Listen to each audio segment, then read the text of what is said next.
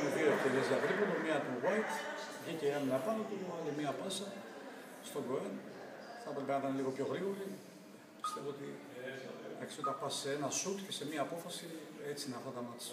Είναι αισιόδοξο